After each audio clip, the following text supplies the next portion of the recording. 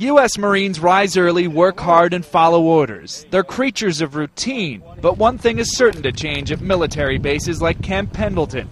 Soon, gay service members can be open about their identities and not fear dismissal. The repeal has already happened, okay, but the implementation hasn't happened yet.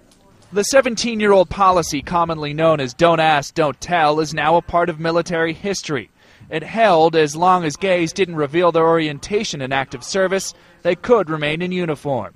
In this case, Marines are getting briefed by an officer about what's changing. There will be no discharge based upon your sexual orientation. And what's not. The United States government isn't trying to change what you believe, okay? Still, everyone must follow commands, even if their religious beliefs condemn homosexuality. My religion is being put aside just so that we, so that I can accept, you know, someone else's preference sexually. Um, is anybody telling you what to believe? Since it's a personal, private matter, it's not really open for discussion. Nobody's trying to change your mind. Nobody's trying to change their mind. Before a packed auditorium, members of the 1st Marine Logistics Group had plenty of questions. What comes first, religion or sexuality?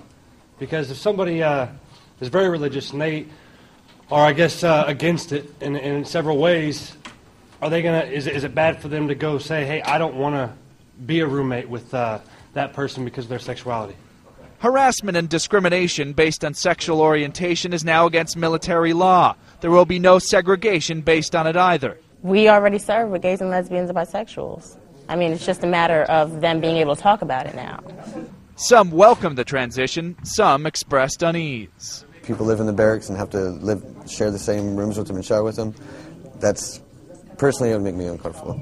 The lifting of the ban on gays openly serving in the armed forces could go into full effect by the end of this year. John Mone, Associated Press, Camp Pendleton, California.